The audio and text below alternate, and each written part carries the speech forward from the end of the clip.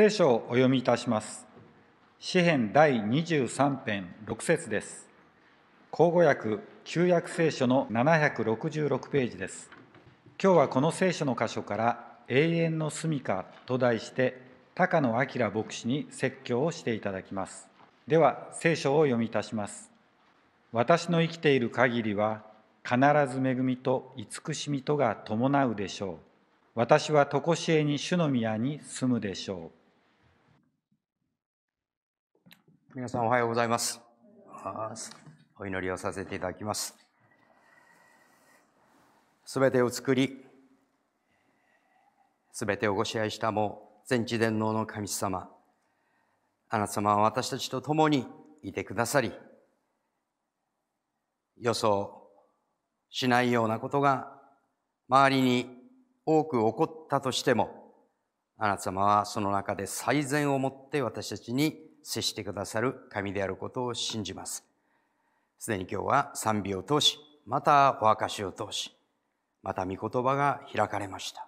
初めから終わりまで、私たちの心をあなた様にお向けできる、その心を備えてください。イエス様の名前を通してお祈りいたします。アーメン。今日は詩編23編15回目のメッセージとなりました。15回すべてに出席してくださった方、時々来てくださった方、今日初めて来てくださった方、皆さん方に何か今日15回完結のメッセージでありますので、何か記念のものをとこう考えておりました。ですので、後ほど今日はロビーの方にたくさんのキリスト教の書籍がありますので、今日出席された記念に何かお買い求めいただければ、今日の日にちを書いて、詩編23編15回完結ということを書いていただければ、あ、後ほどそうだったなということを記念になると思いますので、ですので私の方から何も用意しておりませんので、よろしくきっと今日のメッセージが皆さん方に対しての最高のプレゼントとして用意させていただきました。今日のこの23編の特に6節の最後の節を今日テーマとさせていただいております。ご一緒に一番最後のところ、私はというところをお読みしましょう。はい。私は常しえに主の宮に住むでしょう。この一節であります。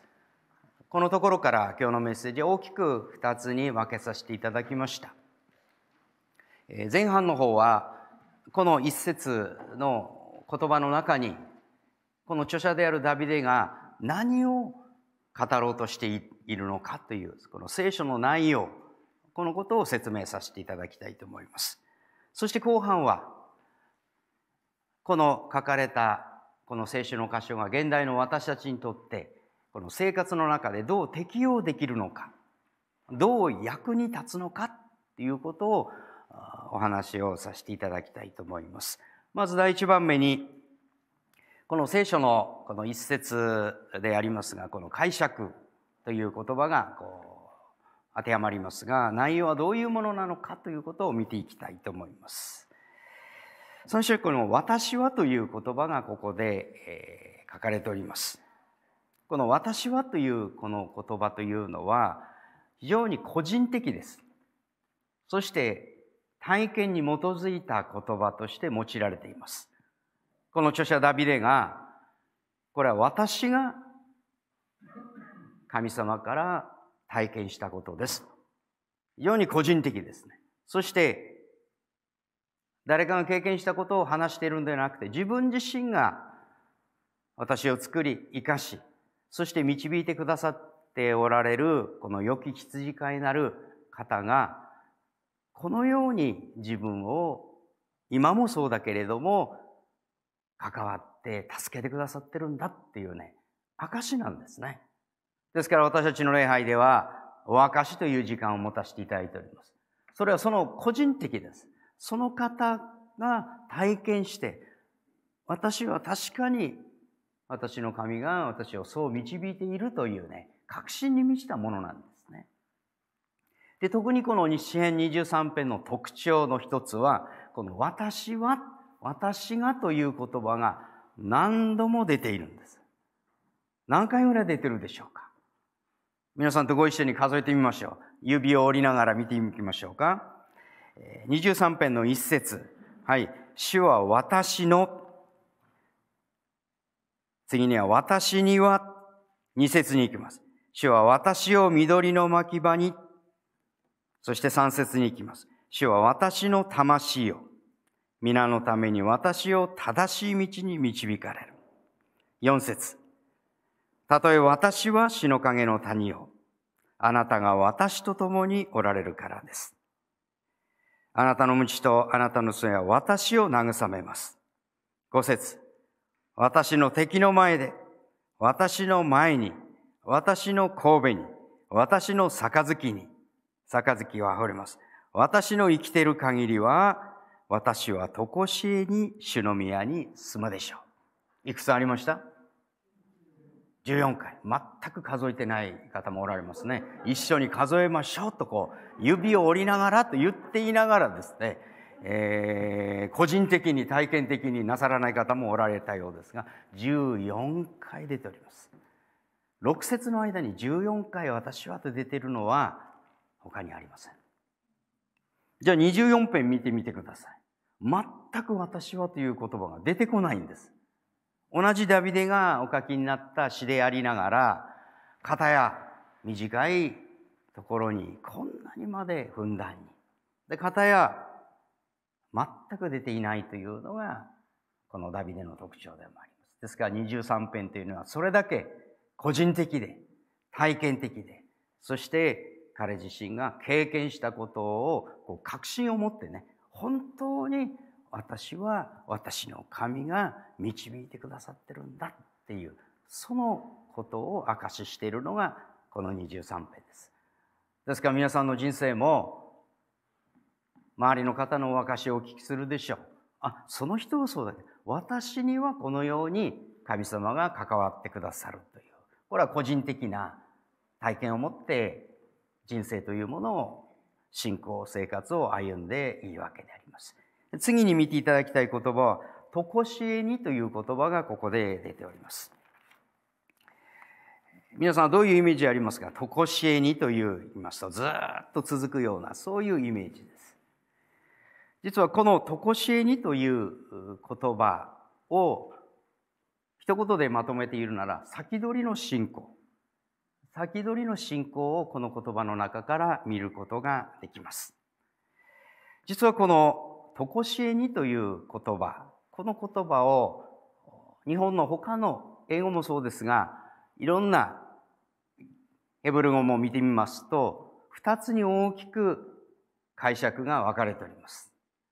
一つは、人が生まれてから召されるまで、この生かされている間、自分が生きてる長きにわたっている日々、このことをこのとこしえにという言葉で訳している聖書の箇所が、翻訳が何冊もあります。これ一つです。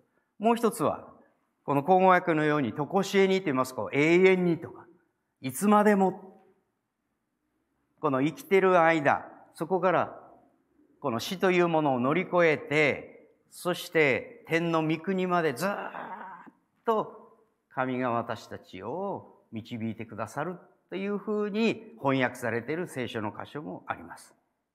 でこれは、実はこの言葉そのものは、私たち人間が生まれてからこの生きている限りという言葉が用いられています。しかし23編を通して全体を通してこの言葉の意味としてはじゃあ生まれてそして亡くなるまでそこまで神様が責任範囲で、あなたの人生を守りますよ、助けますよ。あ、あと亡くなった後はご自分でどうぞと。そういうものではないんですね。ですから、このとこしえにって言葉自体は、その、この生きている限りという言葉は使われてますが、その意味としては、たとえ私たちがこの地上で命がなくなったとしても、永遠に神は私たちの神である。そのことをこのところで言わんとしているというのが汲み取れます。でこれは先取りの信仰ということが言えるんですね。でこれを少し分かりやすい、えー、お話で実際あったこととしてちょっと説明させていただきますが、えー、私には3人の男の子がおります。でその3人の中の1人の子がこの食べ物のあのあんこがね苦手なんですよ。まんじゅうの中に入ってる。あのあんこ餅っていうのはうまいね。大好きよ。でもそれは私が好きでもね、人はやっぱり苦手なものってあるんですよ。で、このあんこが苦手な子がいまして。しかし不思議なことに、ある一つのまんじゅうだけは好きなのよ。あんこ入ってんのよ。あんこ入ってるまんじゅうが、それだけはなぜかね、うまいって。不思議だなそれでね、私なりに考えてみてね、そうしたらパッとこうね、思い出した場面があった。まだあの、長男が小学校低学だったか、下の子はね、まだ学校に入ってたか、そういう小さな時です。あの、ここの街道がまだこの街道が立ってなくてお家があってここでねあのワック教会学校をやってた時代があったんです。で向こうの前の街道に車で連れてきてそして向こうからこの9時だったと思いますね9時の時間にここで教会学校があるので私はその3人の子供たちを向こうのね前の街道からここまで連れてきてました。そうしますとこの教会堂から近くのこの道、道の脇にまんじゅう屋さんがあんのよ。そうすると、この9時前ぐらいになると、そのそこにね、このお店の脇に、かなり大きなね、換気扇があるのその換気扇からね、この蒸気がバーって出てんのよ。そうそう、俺、向こうからこう連れてくるでしょ ?3 人。そうすると、こう近くなると、いい匂いがパーンってくるんだね。そしてね、アイデアが出てね、よし。その三人の子供と私もね、そのあの蒸気の下にいてね、子供たちに言いました。思い切ってて食べろ。吸いなさいと。この蒸気をね、ブワーってくるからそこのこう、蒸気をね、食べなさい。いいか、こうやって食べんだって。そうしたら子供たち素直だからね、こうやってこうやってるわけですよ。そして、お腹いっぱいになったかまだだって思った。また他から見たら何やってんだろうと思うんですよね。大の男が一人で、で、三人の息子、子供たちがちっちゃいので、四人揃ってその蒸気のね、換気扇の下で、そしてね、いいか、十分食べたか。よし、行くべ。これをね、何回もやったのよ。そこのまんじゅうが好きになったの。彼らの顔見て食べたか？った。まあ、食べたような、食べないようなね、蒸気だけだから。お腹いっぱいになってないんだけど、この匂いだけでもこれだけ美味しいんだから、さぞかし中身はうまいだろうなと誰だって思うよね。そしてある時に、その実物の饅頭食べたら、あの匂いとこの匂いが同じだ。食べてみた。うまい。こうなったの。これを先取りのね、信仰っていうのよ。前味の前味。もうね、食べる前からうまい。これうまいに違いない。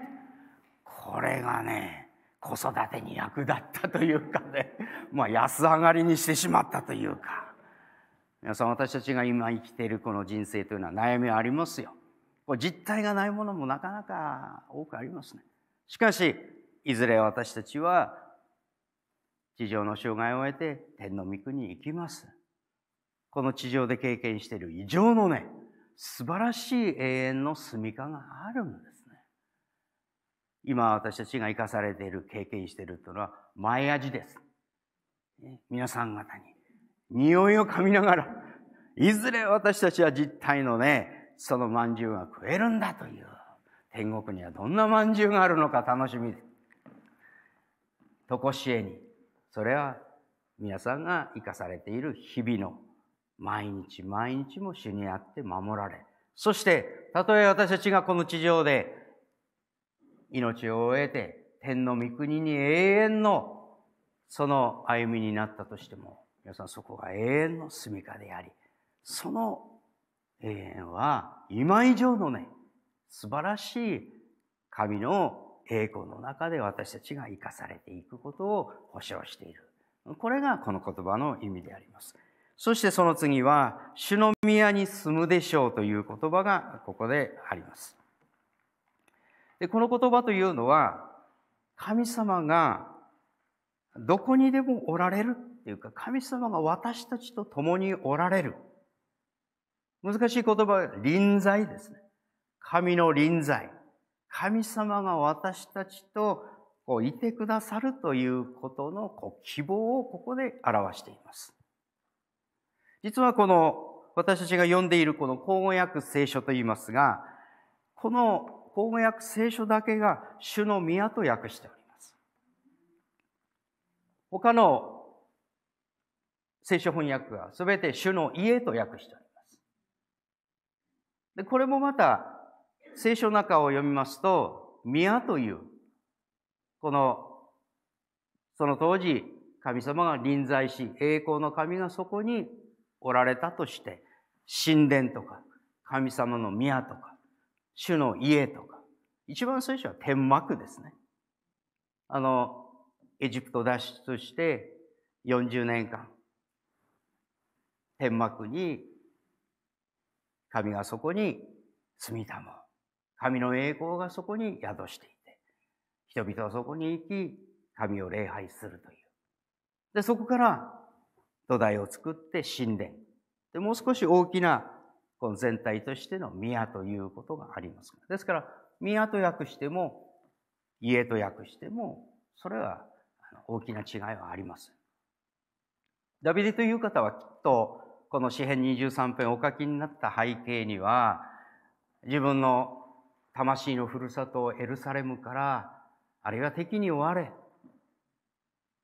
自分が仕えていた初代の王様サウルから追われたり、あるいは自分我が子の部下たちから追われて、そのエルサレムから離れなきゃいけなかった時があったんですね、聖書の中に。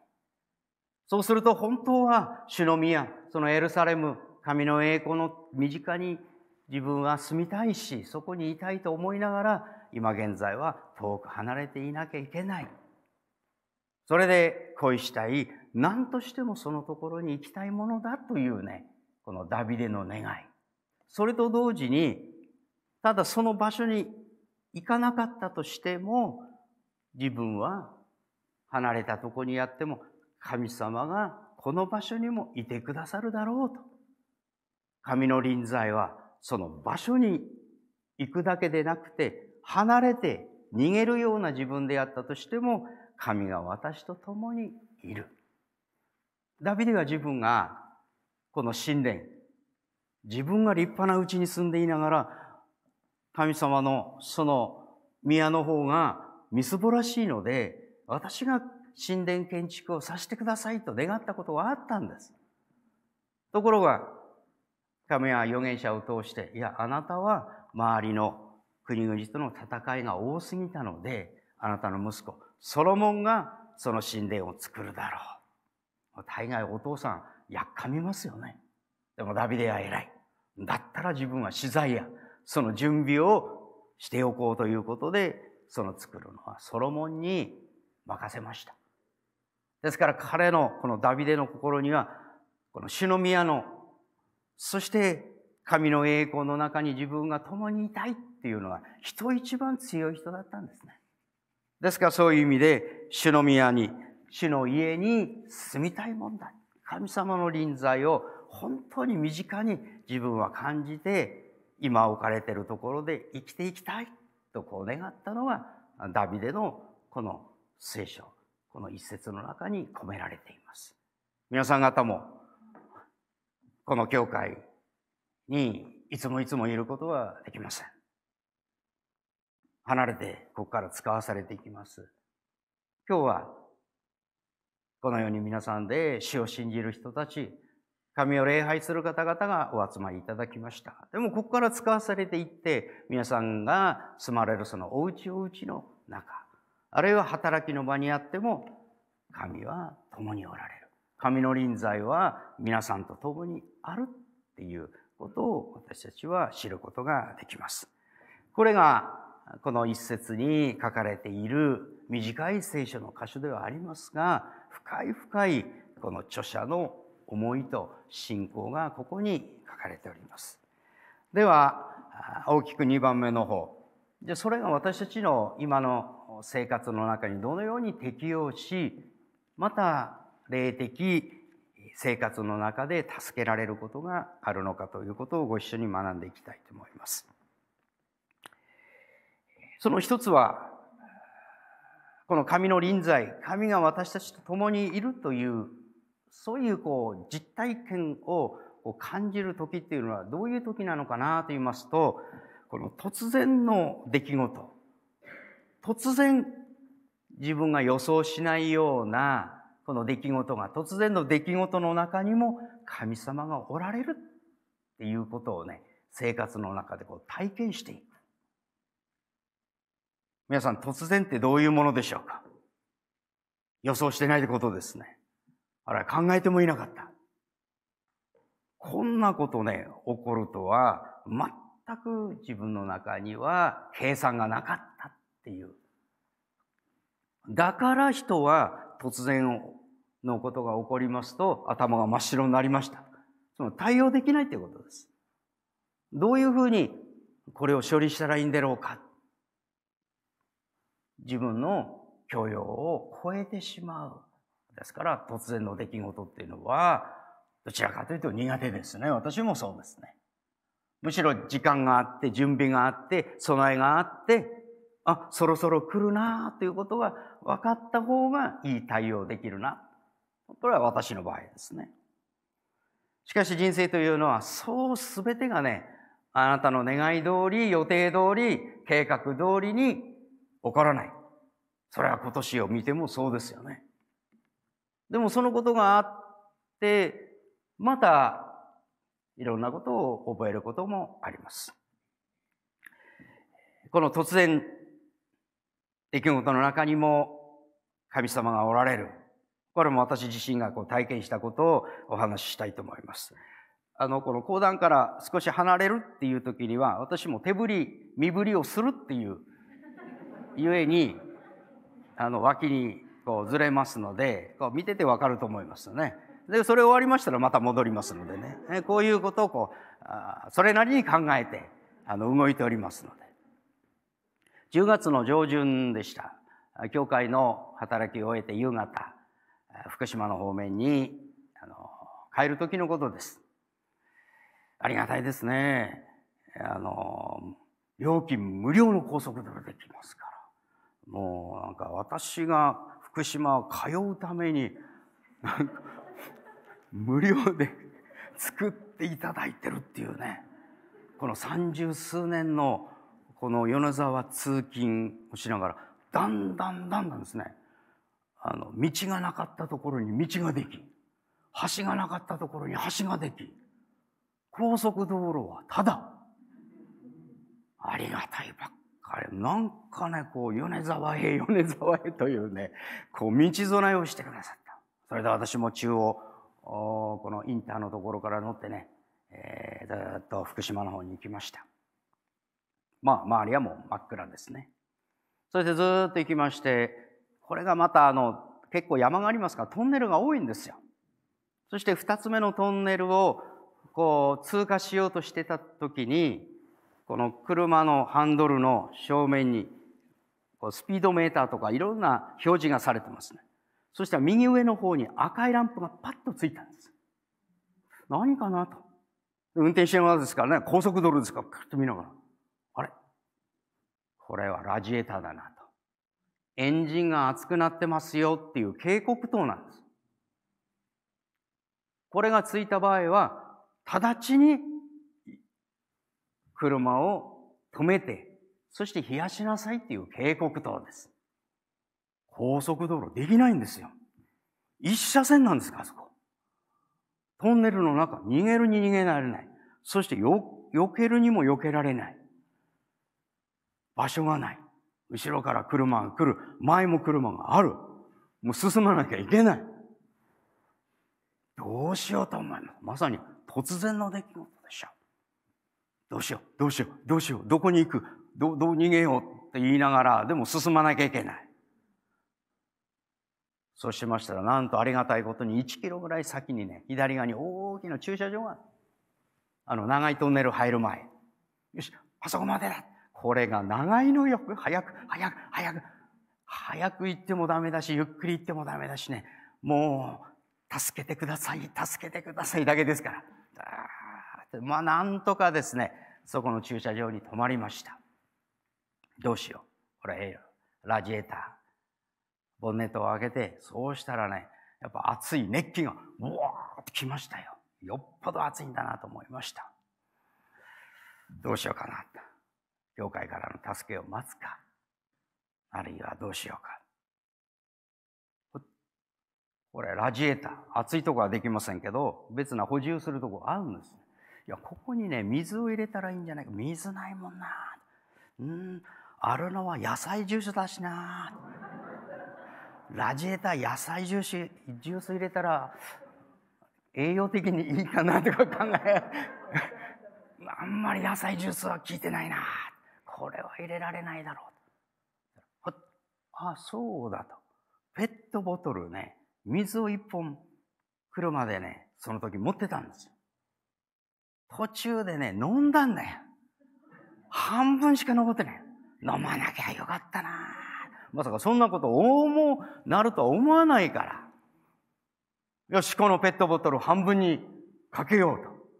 そしてそれをね、車の中から持ってきて、ラジエーターのこっちに冷えてるそのとこ、一滴も漏らさず、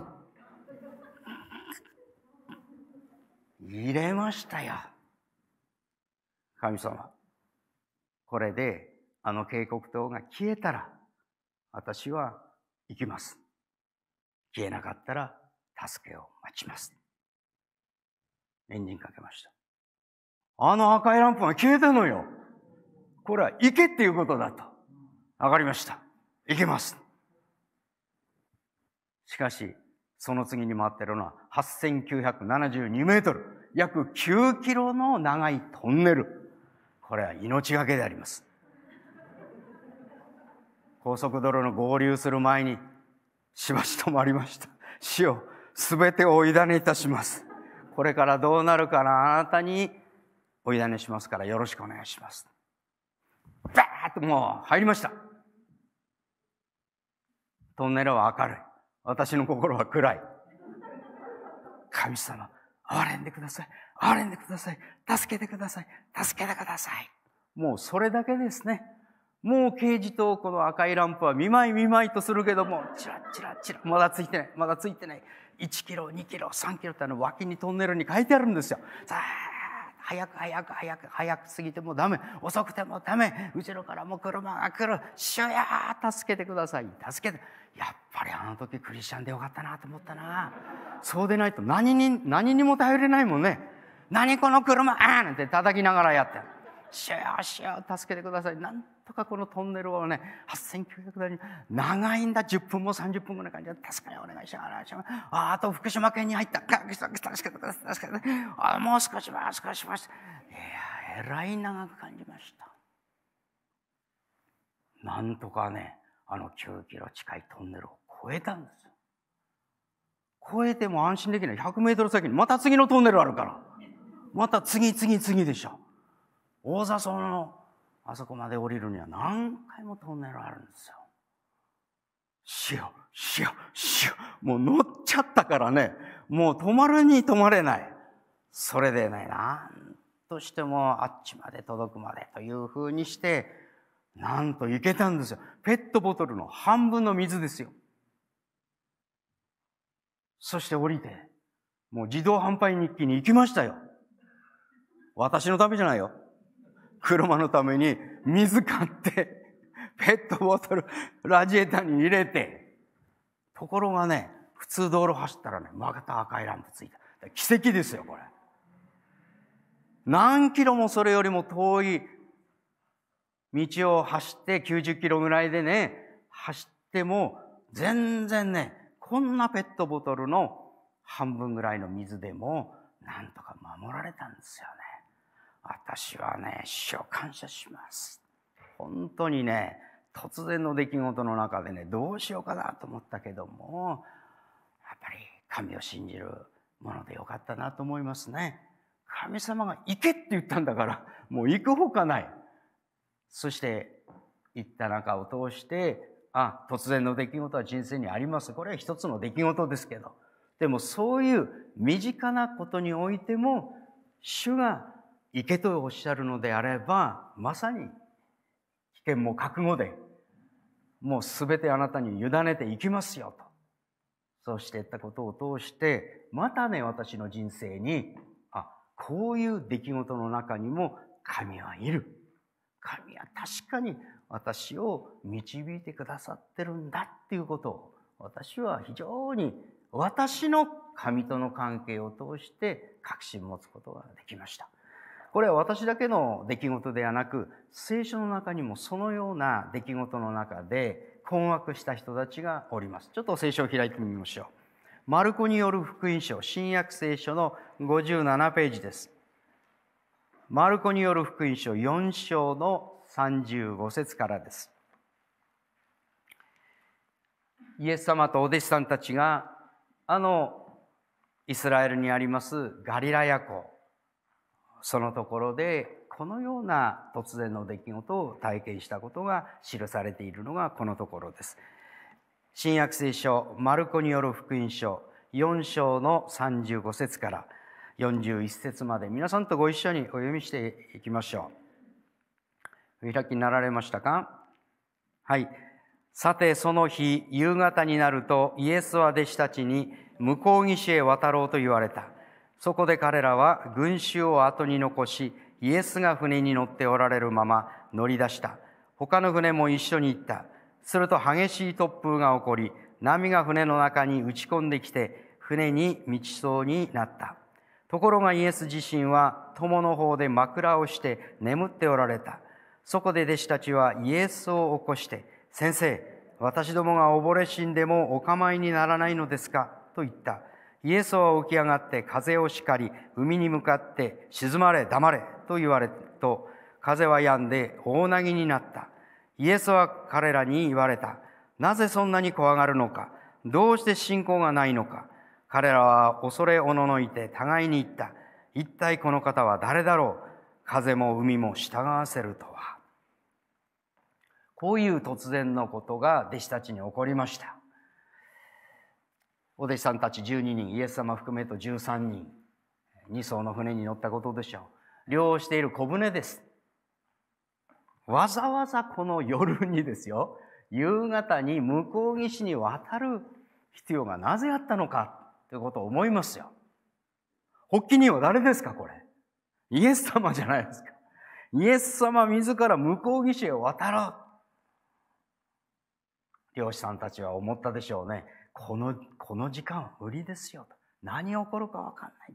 吊り橋層になっているあのガリラヤ湖ですが、特にこの急に突風が吹いてこういうことが起こるんですよ。しかしイエス・キリストは彼らに乗りなさい。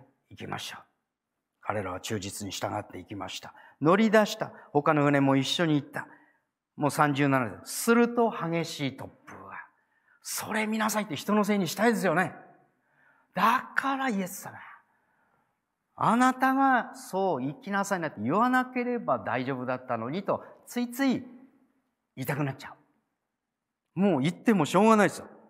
波が船の中に入ってくるし、もうきっと弟子たちは必死になって持ってるね、ものでも水をカーってかき分けてやってるわけでしょ。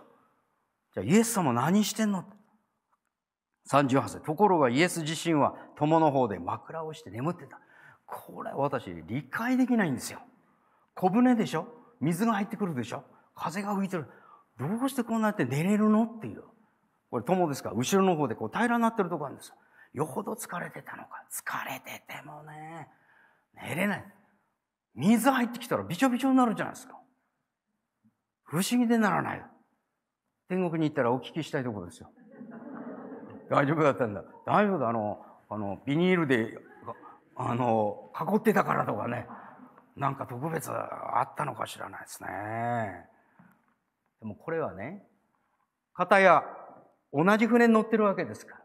同じ条件、同じ状況の中にいながら、方や寝てます。方や死にそうです。これは対比です。メシアなる救い主なる神は、どんな自然状況の、どんな状況の中にいても大丈夫というイエス・キリストの姿をここで表しています。そして人間は突然、思いがけないことが起こると、あたふたとわめいて、そして死んだら終わりだ。どうするんですか？っていうことをここで対比するためのこの場面としても見ることができます。しかしイエス・キリストは黙り静まれと。自然をも治めることのできる方である。これは実際に弟子たちに対しての体験的なことを通して、どんなことが起こったとしても、共におられるイエス・キリストにお願いすることを通して大丈夫だっていうことを彼ら自身が生活の中で体験したものです。皆さん自身も生活の中でいろんなことが起こります。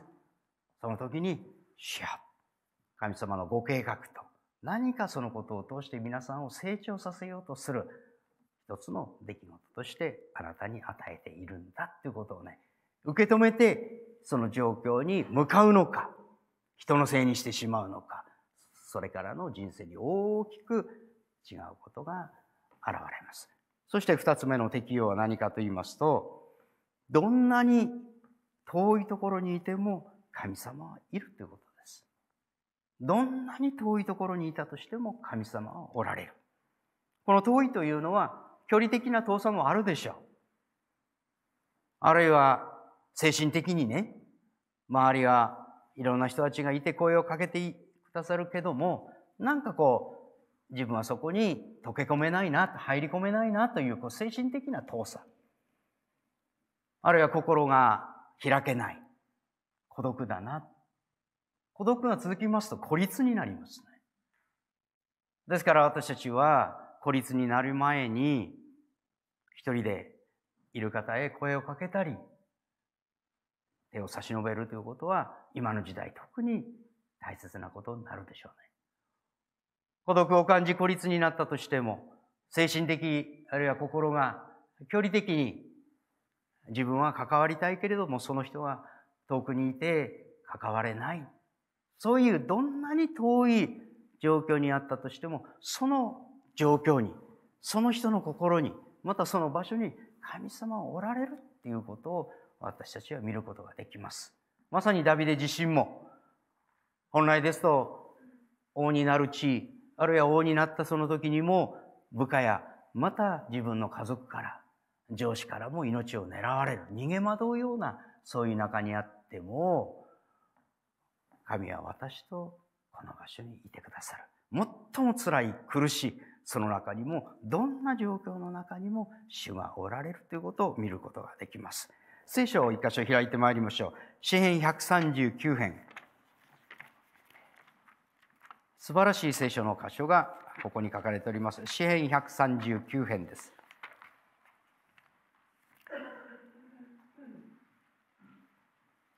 詩編139編871ページに神様はあなたがどんな状況にどんな場所にいたとしても共にいてくださることがこのところで書かれております。139編の7節からご一緒に読んでみましょうか。はい。私はどこへ行ってあなたの御霊を離れましょうか？私はどこへ行ってあなたの御霊を逃れましょうか？私が天に昇ってもあなたはそこにおられます。私が読みに床を設けても、あなたはそこにおられます。私があけぼのの翼を買って海の果てに進んでも、あなたの御手はそのところで私を導き、あなたの右の御手は御手は私を支えます。闇は私を覆い、私を囲む光は夜となれ。と私が言っても、あなたには闇も暗くはなく、夜も昼のように輝きます。あなたには闇も光も異なることはありません。あなたは我が内臓を作り、我が母の体内で私を組み立てられました。私はあなたを褒めたたえます。あなたは恐るべく、屈しき方だからです。あなたの宮沢は屈しく、あなたは最もよく私を知っておられます。どこにいても、どんな状況でも私のことを一番知っている。自分は自分のことを一番知っていると思いますが、案外知らないのが自分だったりということがありますね。周りの人の方があなたのことを知っている。でも、あなた以上に、周りの人以上にあなたを作り、母の体であなたを組み立てられたと生まれる、この地上に生まれる前から、神あなたのことをご存知で、あなたを組み立ててくださったと言い切ってしまう、その方の中に私たちは生きることができます。ですから、心が寂しくなったり、辛いな、苦しいなと思った時であったとしても、気づかないけども、感じないかもしれないけど、神様はあなたと共におられる。これが臨在の神。どこにでもいてくださる神であります。ある一人の青年のお証をさせていただきたいと思います。彼は貧しい国や何か自分が身につけたものを助けになればということで彼はアフリカに渡りました。彼は農業の技術を学んだのでそのところにいる人々にお役に立ちたいと思ってきました。しかしあの海外に行って経験する人はわかるんですがなかなかこう思い描いた自分がそのところでできるかというとそうでもないんですよね。現実はやはり厳しく頼りにしていったところもやはりそんなに環境も良くなくまた向こうの方々に何かお助けとしてもなかなか結果も出ないということでまあ、別な働きに進もうかなと思っていたそうです。そして自分が住んでたところからその村の方に1時間かけて歩っていったそうです。これから何をしたらいいのかなどう導かれるのかな何が自分にとってできるんだろうか今までの人生の中に一人です。今までは知り合いもいた。日本人もいた。でも、ポツンと自分自身が一人ぼっちになって、将来が見えないし、わからないし、先が読めない状況にいたときに、思い描きながら、そうやって村の方に行ったそうです。そこにこう、ボランティアをセンター的なところもあって、そこでお話しした。ふっとこう目を向けた。なんとね、近くに教会があったそうです。村の教会。ふっとね、懐かしくて、そのドアを広げて、開けて押していったら開いた。なんとね、30人、40人ぐらいの黒人の人たちがそこで礼拝を持ってたんです。木曜日です。なんとイースター前のその戦則の、その集会をその夕方してたんだそうです。久しぶりに教会に入ってベンチに座って、いやー、懐かしいな。アフリカに来て非常に緊張していた毎日だけども、なんかね、教会のその椅子に座った時、はーっとこうね、落ち着く。初めてなんかこう安心したっていうか、包まれているっていう、そういう経験したそうです。声をかけてくださった方もいてね、その次の日曜日から、またね、教会に集うことができたそうです。教会がその地域にあるとは知らなかった。そして、その教会に生き始めて、そして集うようになったそうです。しかし彼には、なかなかね、こう信じられないものがありました。クリスチャンの家庭に育ち、教会学校、あるいは自分がアメリカやカナダやいろんなところで学んでも、その地域にある教会には集っていたそうです。でもただ一つ、神様がいるっていうことはわかる。ね、神様はいる。しかしこのイエス・キリストという方が神様であるっていうことがどうしてもね、腑に落ちない。自分の中に。もう何十年ね、二十数年、そうやって教会に関わっても、なんかね、聖書を読んでもしない。そしたらある方がアドバイスしてくださって、じゃあ、信じたいんだろ？信じたい。信じたいんだらば、信じれるように神様導いてくださいと祈ったらいいと教えてくださる。そしてね、真剣に熱心に祈った神様、私はイエス・キリストが神であることを信じたいんです。どうぞ導いてください。と祈ったそうです。そうしましたら、ある時、聖書を読んでいたら、私は父と同じだ。私はイエス・キリストは神と一つだっていうね、その聖書の箇所が飛び込んできたんだそうです。そうした時に、あ、同じなんだ。今まで長年、自分の心の奥底に、近くにいながら遠く感じていた自分が、あ、これだ。そして信じて、その教会の牧人の牧師先生に洗礼を受けさせてください。と言ったそうです。あた、8月の末のその日に、プールで洗礼を受けることになりました。ちょっと雨模様、寒い。それで牧師先生がね、もうちょっと後でいいんじゃない？いや、もう今日ぜひしてください。なんと北半球ですから、南アフリカの近くですから、向こうは冬なんだ、8月。でもそこで洗礼を受けて、そして彼が思ったそうです。自分は10代後半に大きな大きな事故を起こした。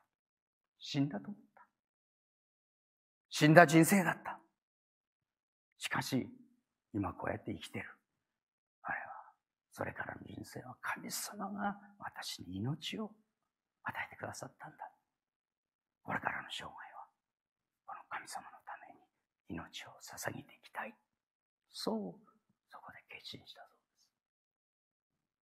うです。1ヶ月過ぎて、もうここに来た理由が分かった。私はイエス・キリストが我が救い主、良き羊飼いである。そのことに出会うために、私をこのアフリカのこの片隅の小さな村に送ってくださったということがはっきり分かったので、日本に戻って働きをすることができました。導かれ、彼は自分がイエス・キリストによって助けられ、導かれ、新しい命をいただき、やり直しの人生をすることができた。そのことを牧師として人々に今証をしているその良き働きをしております。これは私の3番目の息子の証であります。その時は皆さんからたくさんお祈りしていただいて関わっていただいたことであります。今彼はそのような皆さんの祈りに支えられてしております。本当にありがとうございます神は、どのような、どういう場所に人が行って、親ができない、人ができない。でも遠い遠い日本から離れた、そのアフリカの地に離れていたとしても、神はそこにもおられるのです。今日は皆さんとご一緒に詩編23編のこの6節私は常しえに主の宮に住むでしょう。このところからご一緒できました。永遠の住みか。それは今、皆さんが置かれているそのところは天国の前味です。信仰の先取りであります。ですから、どのようなことが突然起ころうが、また自分の心が遠いなと思うようなことがあったとしても、私たちを作り、導き、良き羊飼いなる神、イエス・キリストはいつもあなたと共にいます。どうぞあなたがこのイエス・キリストと共にこれから人生を生きることができるように、そして祈りつつ、助けられつつ生きてまいりましょう。お祈りします。